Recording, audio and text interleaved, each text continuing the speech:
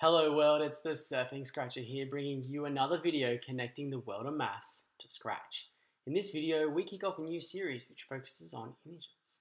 It's based on the brilliant NRICH resource called Up, Down, Flying Around, which is a brilliant framework for thinking about adding and subtracting positive and negative numbers. In this video, I'm going to show you the game that I built and also the broken version that we're going to need to fix. If you're an educator, I'm going to link to some resources below that you can go ahead and purchase to support your learners. But let's get stuck into it. Welcome to the Up Down Flying Around Scratch resource walkthrough. Just before we get started, I want to give a shout out to the NRICH website, which is full of rich resources for both students and educators. This game idea was inspired by one of their resources that I've done with students in my classes before, Up Down Flying Around. Uh, they present a wonderful model, uh, a few different models actually for adding and subtracting integers. So I just wanted to give them credit. This, this game was all born out of that, so you can go check out the link. So let's now take a look at the Scratch project. So here we are in the Scratch project page of up, down, flying around. Let's check out the instructions. Hello pilot, your job is to keep your balloon in the air and be the first to positive 20. To get to your destination, you will be dealt two cards, an operation, either addition or subtraction, and an integer between negative 10 and positive 10. You will also have three lives. You'll be asked where your balloon will end up once the cards are dealt. If you're incorrect, then you'll lose a life. Lastly, if your opponent reaches negative 20, then they crashed out of the game and you are the winner. The deal button is the action button. You can press it to skip the intro as well. Good luck. Okay, so let's press the green flag and see what the game does. Welcome to Up Down Flying Around, says this bat here. The red balloon is player one, okay. The purple balloon is player two. The winner is the first to 20, or when your opponent crashes to negative 20. Use the operation cards below to predict where your balloon ends up. If you guess incorrectly three times, your opponent wins. Press the deal cards button to get started. All right, this must be the deal cards button. These must be our uh, operation cards, so operation integer, and let's have a look. Let's get started. Player one, it's your turn. Okay, so I've got this player one, or this player HUD here, and it's pointing towards the red balloon. Let's steal some cards. Tick, tick, tick, tick, tick. We have an operation that is subtraction, and our integer is zero, so we're actually just going to take away zero this time. Let's have a look.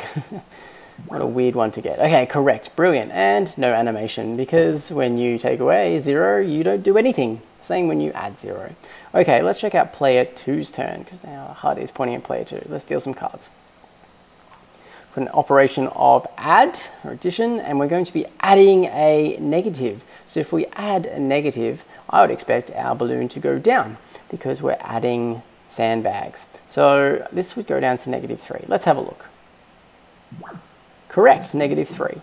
And I don't know if you saw that. If you didn't, maybe just rewind the video, but uh, some animation happened here where some sandbags were entering into our balloon.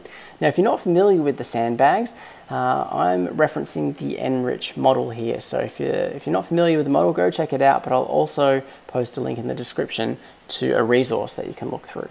Okay, great.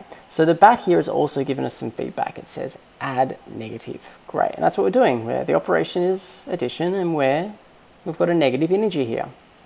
Great. Let's have another go with play one and see if we can get a different animation happening. So we've got the operation, which is addition, and again, we're adding a zero, okay?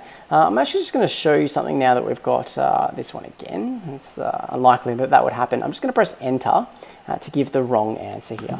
Okay, so try for the next one. You said nothing, and the correct answer is zero. And you can see that I just lost a life there. So I just wanna give you an example of not submitting the right uh, response. Yeah, for a positive in the field, you can just um, put down a, a number, a whole number, and if it's a negative number that you need to input, you need to put the negative symbol in beforehand.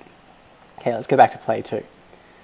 We've got, we're going to be taking away, our operation was subtraction, and we're taking away a positive number. Okay, so if we're taking away a positive number, we're deflating this balloon. So it's actually going to go down again so I know if I go down by 7, that'll take us to negative 10, so that's just an extra uh, extra unit that we're subtracting. So it's going to take us to negative 11. Expect this to say correct, and watch what happens to our animation here of our balloon as we deflate.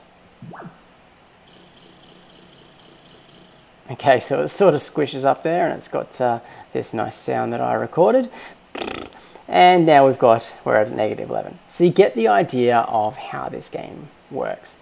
We're going to jump across now into the project starter to see where the game is broken. Okay, so here we are in the project starter now. The instructions are the same. I haven't put them in here, but you've got a link to the actual uh, project. All right, so let's press the green flag and see where this game is up to. We've got the same intro here. If you press the deal cards button, you can actually skip through that. Great, it says, let's get started, play one, it's your turn. So I'm gonna deal the cards. We've got our operation, which is subtraction. I'm gonna take away, and we're gonna be taking away a positive number. Now, you need to code the custom block, calculate number of integers to move in the card sprite to get the balloon moving to the right spot. Okay, so we've given some feedback there that we actually need to do some work. So something is broken here. If that was, if that came out too quickly for you, just rewind the video and pause it and have a bit of a read through. But we're going to unpack that more in the, as the project unfolds anyway. So where will your balloon end up? Well, I know if we take away a positive, uh, that's a bad thing and we're, we're deflating again. So I would expect our balloon to be negative 9. So I'm going to put that in. Now I'd expect the bat to say correct here, but this time it's going to say something different. Uh, try for the next one. You said negative 9, and the correct answer is 0. Hmm? You need to program the custom block say move type in the bat to get the animations working. Okay, so there was some really funky stuff that happened there. Uh, it said that I inputted negative 9, but the correct answer was 0, so clearly something is broken there.